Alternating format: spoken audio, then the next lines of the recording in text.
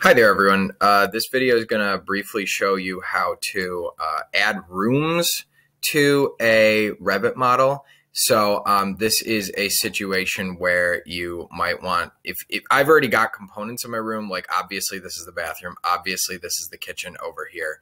And so that is uh, what we're seeing right there. I'm just going to change my view setting there for a second. There we go.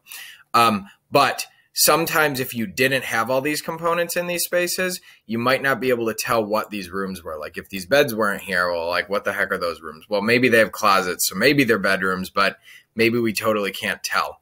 So if you're just trying to quickly hash out a a, a house or a structure and chop up the space into rooms, but you don't have time right now to add all the components in, these room labels can really help you.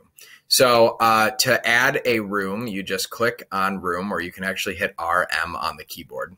And uh, there's different label styles, but we're just going to stick with the very basic one right now. You're in the floor plan you want. And you notice when you hover in a room, like a space that's enclosed by walls, um, you're, it, it will sort of extend and it will fill that room with a label.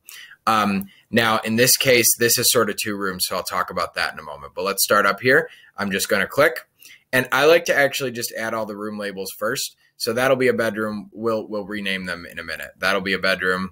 This will be a bathroom. And this is really going to be two spaces. So that's what I want to uh, do for a second here. So I'm going to hit escape on the keyboard to cancel out my room command. And I'm actually going to add a room separator. And this, just like it says, creates a separation line to bound rooms when there's no walls there. So this can still help you organize the space. So in this situation, let's say that the kitchen is going to end here. What this really does is it's just going to draw a light line that's going to help. So it's almost like a pretend wall that the room command will see as a wall and it will help separate these rooms. So I'm going to get back into the room command. This time I'm going to hit R and then M on the keyboard just because it's quicker. And then I will put a room marker in this room as well as this one. So now I'll hit escape. Now is when we get to rename these rooms. So if you just click and then click again. So it's kind of two clicks, not a double click. You click once to pick the room and then click again on the word there. And now you can type this in. So we'll call this the M bed, the master bed. Just keep it brief, you know. This is just a regular bed, bed. Uh, this would be the bathroom. So one click, then another click, bath. We'll call this the living room, just living. We'll call this the kitchen. Okay. And another thing you may want to change here, I find these numbers to be pesky. There are times where you would want them, but right now I don't really want them there. So with nothing selected, if you pick one of these rooms, just the label, just one click and you hit edit type, you can untick the box for showing the room number and watch. Since these were all the same type of label, when I click OK, all those numbers will disappear.